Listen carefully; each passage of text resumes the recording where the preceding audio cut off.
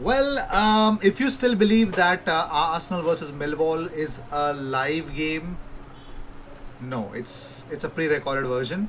Sorry for the spoilers. Arsenal are going to win 4-1, and no, it's not a prediction. It's a fact that Arsenal have won 4-1 with goals from Chambers, Lacazette, Pepe, and Balogun. It's been tweeted by Harry Symeou. Check it out for yourself. Okay. So, but very promising signs. Lokonga there, wonderful header from Lacazette. Um, Chambers was alert, but I'd say Millwall are a very bad team to actually. You know, that's shit defending, bro.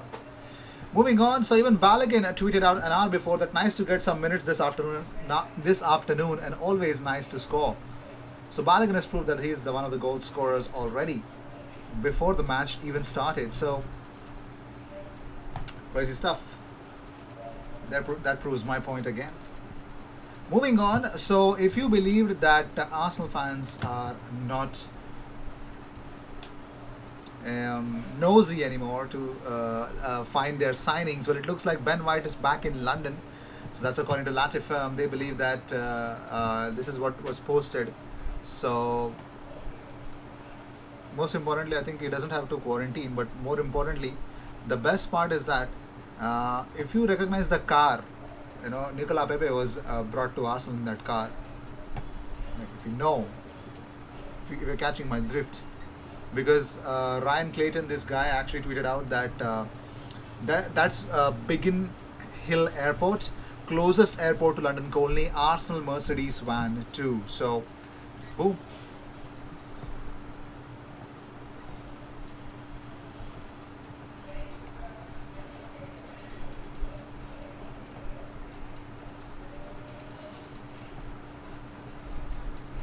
So it's uh, crazy stuff. Lovely to see.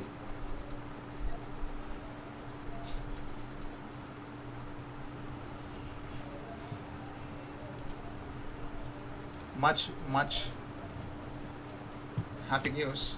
Moving on, so according to Sky Sports, Arsenal is preparing a third offer in order to con- uh, to provide a contact with Aaron Ramsdale.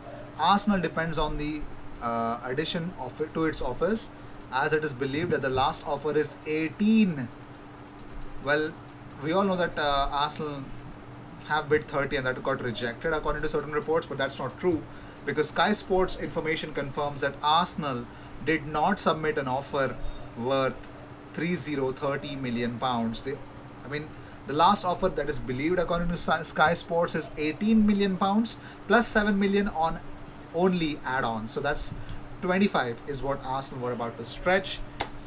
That was the second offer, and they're looking at a third offer, which is probably something that would entice Sheffield at the moment. But all the news that Arsenal have bid 30 and that got rejected because Sheffield won 35. Um, that's not true. That's not true at all. So don't believe that. Yeah. Yeah. as far as we go, don't even believe this. You don't know what to believe, do you? Moving on, so Patrick Berger says that Denis Zakaria contract till 2022 with Borussia Mönchen. I have to stop saying Borussia. It's Borussia Mönchengladbach. So he says that no release clause at all, and his agents are pushing for a transfer. Mönchengladbach sporting director Max Eberl um, says that Dennis has made it clear to us that he wants to make a change this summer. It looks like, according to Sport 1, the 24 year old Swiss midfielder wants to play in the Premier League. Do you think Denis Zakaria to Arsenal would make any sense? Let me know in the comments. Uh, do you think Arsenal would be the perfect place or a perfect team for Denis Zakaria? For me, I think uh, as soon uh, as I've seen his gameplay, I think it would just be uh, someone, a young Xhaka. He is error prone, has got a little bit of temperamental issues. That's all I can tell you. So I personally believe it's going to be, you know, not a step forward, I'd say, but not a bad signing. And I think we've been doing that. We've been signing a lot of not a bad signing players. For a change, let's sign some better ones. Well, moving on, I just don't generally bring this up, but here's something that was said in the past that is actually turning out to be true. Well, Arsene Wenger, of course, Papa Wenger, in 2017 pre- predicted top players running down their contracts will become a regular feature in the future. And he actually spoke about it in 2018 as well. So his quotes from an interview in 2017, of course, posted by Charles Grimaldi. Go follow him, follow him on Twitter. Makes a lot of sense, the guy. He says that Wenger said in 2017 in an interview that there's a big inflation that means most of the clubs have two situations with players who go to the end of the contract. There are players who do not want to renew and players who expect higher wages. So don't want to sign the contract because they expect huge wages due to inflation. So generally nobody takes up this topic to clarify as to why why do what, what's the perspective why are clubs struggling and first of all second thing why are why are players demanding that much amount of money. It's is it always the raise? Is it always about the money? The most of the time why is it about the money is because of the inflation.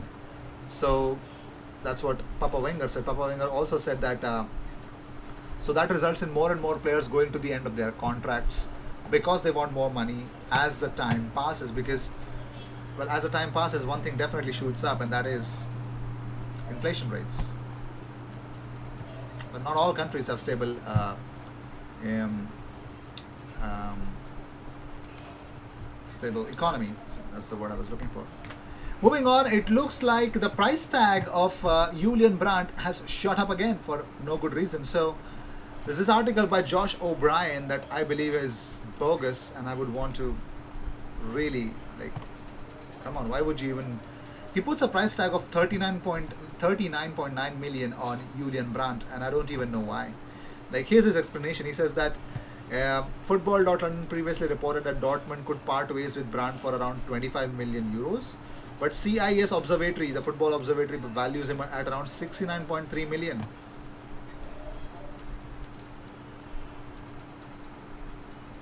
But even a conservative valuation from Transfermarkt sits at 35 million euros. Bogus. Okay, let's not just talk about it. Moving on. So, according to certain reports, it is believed that Gabriel Martinelli will be given more game time in the upcoming season. That's because it looks like this guy is going to be departing soon. Of course, he provided an assist to Balogun's goal in today's Arsenal versus Millwall 4 1 victory, uh, the fourth goal that was scored. So, Willian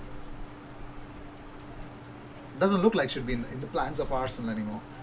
Well, that is that from me. Uh, I don't have much news or any news for that matter. I just had to, you know, kill a little bit of time with you guys. That's why I took this video to eight minutes. Well, uh, with this, I'd like to end this episode. Thank you so much for tuning in. If you seek daily Arsenal content, best place to be, consider subscribing. I will see you in the next one. Until then, cheers.